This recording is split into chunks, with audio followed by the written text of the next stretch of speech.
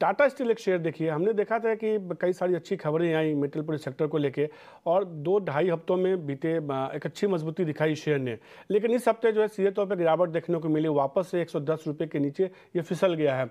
कपिल, क्या रहा होगी टाटा स्टील पर अगर किसी के पास है तो निकल जाए, या अगले हफ़्ते के लिए शेयर में आपको कुछ मौका दिखता है अभी?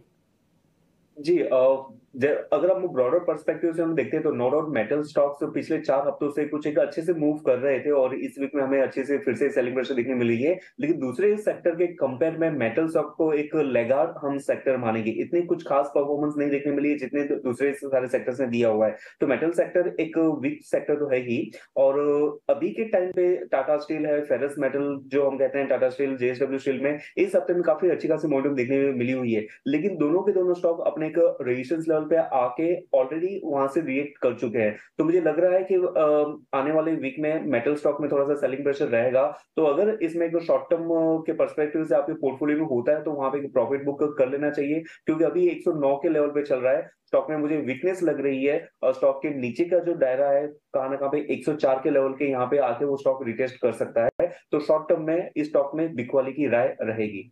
अक्षय, हमने देखा कि एक शेयर ने बहुत सरप्राइज़ किया, खासतौर पर आईटी में टेक महिंद्रा। कह सकते हैं कि निफ्टी का टॉप गिनर शेयर बना इस हफ़्ते टेक महिंद्रा एक अच्छी मजबूती देखने को मिली, जबकि कई आईटी स्टॉक्स लगातार अंडर परफॉर्म कर रहे हैं। टेक महिंद्रा की तेज़ी, अगर किसी ने खरीदा है या किसी के पोर्टफोलियो में तो क्या आपको लगता है कि इसको होल्ड करना चाहिए या अगले हफ़्ते आपको लगता है थोड़ी मुनाफा वसूली करनी चाहिए, क्योंकि उसके बाद वापस से हम रिज़ल्ट सीज़न की तरफ़ जा रहे हैं? टेक महिंद्रा का अगर मैं टेक्निकल सेटअप देखूँ तो बहुत ही 1140 का जो स्तर है, बहुत ही अहम रेजिस्टेंस पॉइंट है टेक महिंद्रा का। ऑलमोस्ट आप बोल सकते हैं एक साल तक ये लेवल ने इसको होल्ड करा है।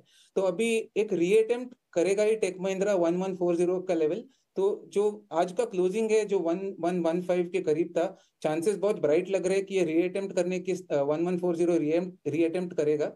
तो अगर आपके पोर्टफोलियो में है या आपको इसमें खरीदारी करनी है तो हम सलाह देंगे कि आप बाय कर सकते हैं इसको। जो रिसेंट स्विंग लो है 1060 वो अपना सपोर्ट बेस बनेगा तो उसके नीचे आप अपना स्टॉप लॉस बनाए रखें और आप एक ब्रेकआउट ट्रेड को टारगेट कर सकते हैं। अगर ब्रेकआउट होता है तो बहुत ही पावरफुल ब्रेकआउट देखने को मिलेगा आपको, जहाँ एक या दो दिन में आपको सेवन टू एट परसेंट का अपमूव देखने को मिल सकता है if the breakout sustains about one one four zero level